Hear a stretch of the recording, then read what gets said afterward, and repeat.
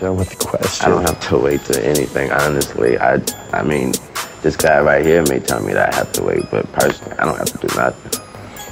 Go ahead, ask the question. Thank you, Your Honor. Uh, do you like You know he to? can't save you, right? In the real world. That guy right there. He can't save you in the real world. Just so you know. What does that mean? I don't have to elaborate.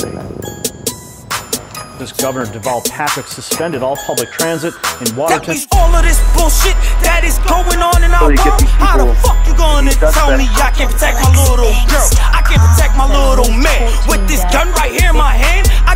to bear these arms, but the government's trying to tear them off.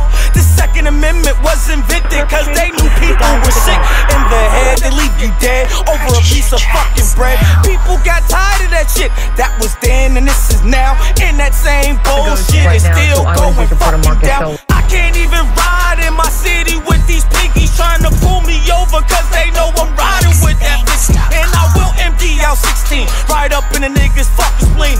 Leave them with the dopamine. Got an infrared so the shot is clean. But this ain't about the gun, it's about the freedom, the freedom. You try to take my life, you gon' be bleeding. I'm a soldier in this cold world, and my enemies at the front door. So need I say any fucking more? I put this on my first floor. There'll be no intrusion on this segment movement. We here and we ain't moving. You see what we doing. We standing for our team.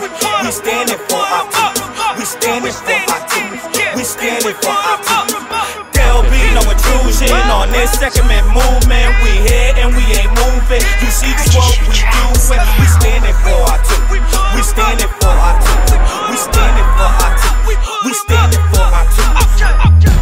Um, obviously, the media is going to shape this the way they want to, and uh, the administration is going to shape this the way they want to. But at, at the end of the day, there's people who have lost their lives. There's a lot of fear going on here.